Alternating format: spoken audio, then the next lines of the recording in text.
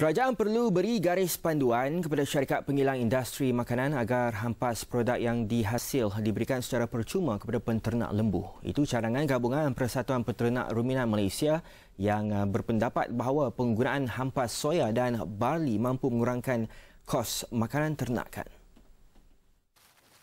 Pengerusinya Samad Kasim berkata meskipun harga hampas soya dan barley lebih murah berbanding hampas isirung kelapa sawit PKC, penjualan hampas adalah tidak wajar. Peranan kerajaan dia bawa uh, Kementerian Perdagangan apa ni industri dan antarabangsa tu MITI tu. Mm-hmm. Okey, MITI dia kena keluarkan satu garis panduan kepada syarikat-syarikat kilang ni lah kan. Hmm. base produk dia dia tak boleh dijual. Dia kena bagi free kepada koperasi ruminan dan tiap-tiap negeri dia ada koperasi. Hmm. bermakna dalam koperasi ni memang ah, memang genuine farmers lah. Kan peternak tulen lah. Yang bangunkan industri ni. Kita tak nak dia bagi pada satu syarikat ABC kan. Syarikat-syarikat ni akan ambil kesempatan.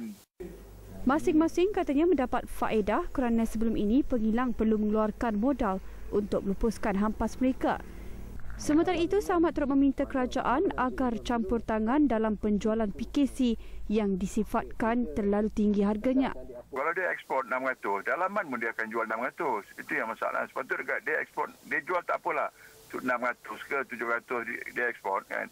Dalaman dia kena bagilah 300 ringgit sebab benda tu dalaman. Sedangkan bila saya pergi di Australia saya terkejut saya tengok PKC kita di Malaysia orang Australia yang guna ladang-ladang Australia. Dia sepatutnya Felda, dia mesti dia mesti ada dia punya apa corporate social responsibility pada rakyat kan. Mm-hmm. Kalau dia satu syarikat yang besar global, kalau dia tak membantu, macam mana yang syarikat-syarikat lain nak bantu?